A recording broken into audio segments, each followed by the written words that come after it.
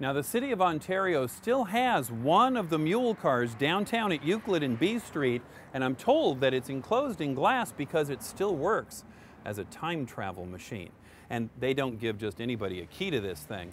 But I'm told that on the 4th of July, if you put one hand behind the stone and tap the center plaque three times, the horse will come to life and the door will open.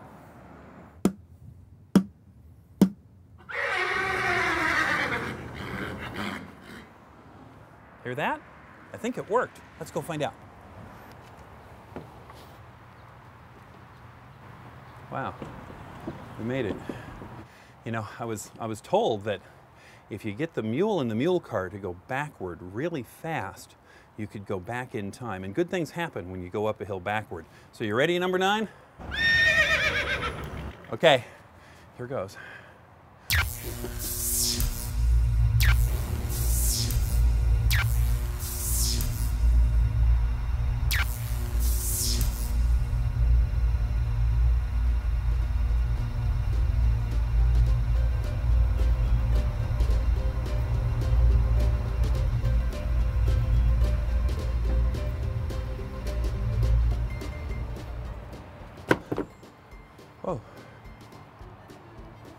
It worked. It's 1776. Let's go see what's going on on Euclid Avenue.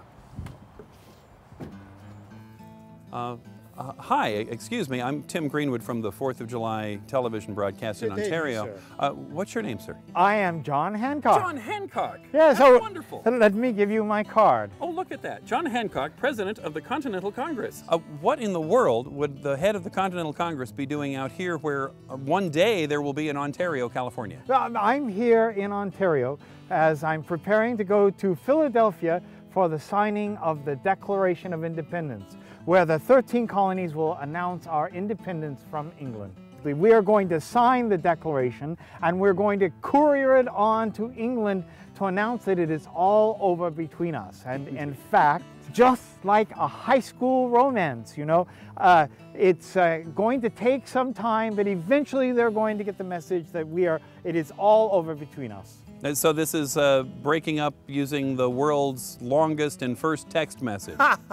exactly. It's like the world's biggest text message. And in fact, I'm going to sign the Declaration of Independence with my name printed exactly like this, larger than anyone else's, so that fat old King George can read it without his spectacles. That, that, that would be success. He might be able to read it from here. It's, it's very, very good. Now, you're out here where one day the Chaffey brothers will be making this whole area into Ontario, California.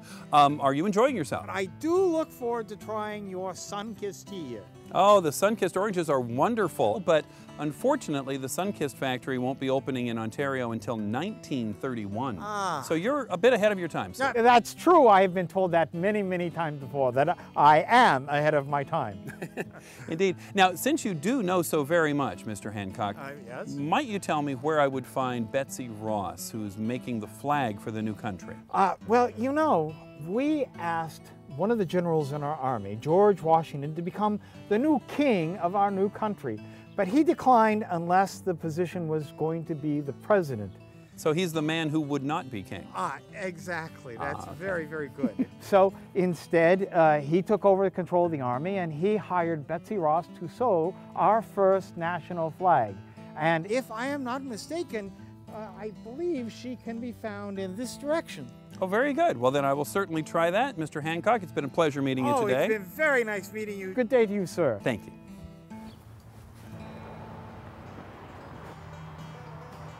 Oh, this must be Betsy Ross's house.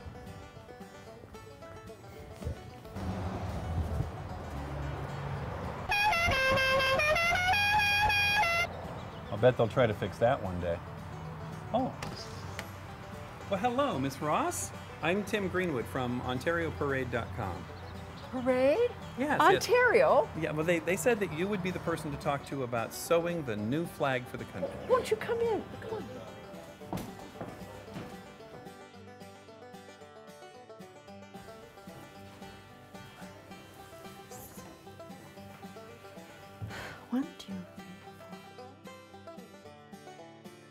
5, 6, 7, 8, 9, 10, 11, 12, 13. All done. Miss Ross, you have an amazing collection of flags around here, and they're from all the colonies, and they show so much history. Oh yes, I know. I know the person who made everyone. Oh, you're all friends? Well, yes, we keep track of each other. Oh, through wax-sealed messages hand-carried by couriers? Oh no, we stay connected with this.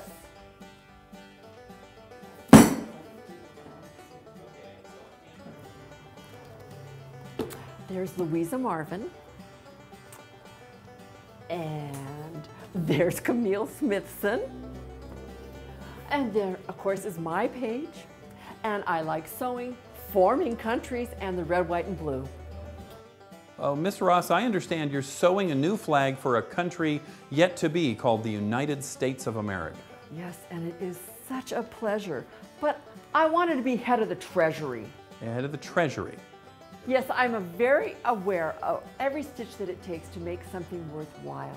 And I know that if you plan ahead, you'll have everything you need so that you don't have to make a panic trip down to the general convenience store. But you said you wanted to be head of the Treasury, Miss Ross. How did you end up sewing the flag? I was telling Ben Franklin that a stitch in time saves nine. Well, he mistook that for sewing instead of my obvious knowledge of money management. Well, then he was talking to George, oh, I mean the man who would not be king, and he asked me to sew the first flag. Oh, that is after I won the contest. So you won a contest, that's what got his attention. Oh, yes, I won Best Seamstress Award in the soon to be America's Got Talent. Uh, The flag you're working on certainly does look glorious, Miss Ross, but what's going to happen when we add colonies and it gets old? Oh, I suppose that might happen. And and and I guess I guess I could say we meant it to be that way. And as we add more colonies and we have to replace the flag, let's see, what can we do? Well, you know we can start calling it Old Glory right now. I like that. That's great. Oh, look at that calendar. Um, Miss Ross, I'm going to have to be going back where we were, but thank you so much for talking with us about sewing the flag for the United States of America. Well, it, it's been a real pleasure, Tim. Thank you, Miss A penny saved is a.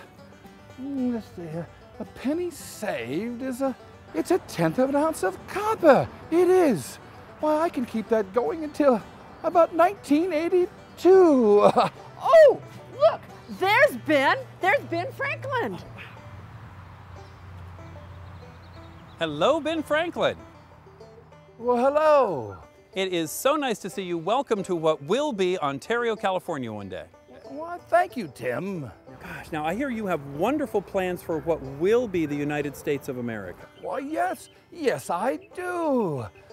I think we need a, a proud and noble symbol, something to keep us on track with becoming a proud and noble country. What I think we need, Tim, is a national bird. And I propose the wild turkey.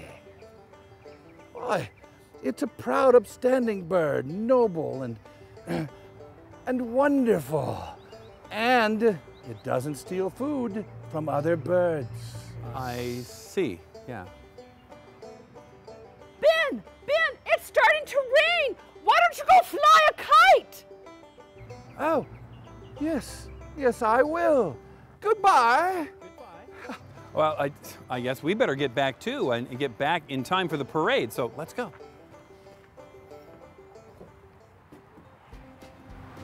Oh, Tim, did you take some liberties with this story?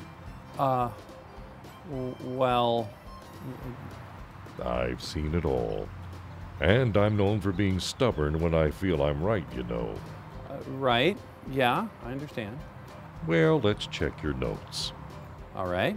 The reason for the Independence Day celebration is the anniversary of the first signatures on the Declaration of Independence, right? Check. Ben Franklin wanted the wild turkey instead of the bald eagle as the national bird. Check. Other facts in the story? Uh, other facts, a little checkered. But you know, they can always check with their teacher or uh, visit the Ontario Public Library. And Old Glory? And Old Glory is the name of the flag of the United States of America. That's its nickname. Okay, engine number nine, you ready to go back? Let's do it.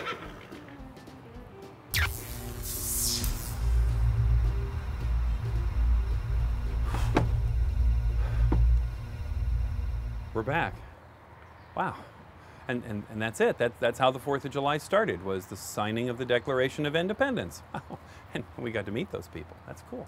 Um, uh, I, I think we should get out of here now. Wow. Uh, that was fun. I tell you what, as our Los Angeles Regional Independence Day broadcast continues, let's go up to the Hollywood sign and check in with Brittany Fetkin. Brittany?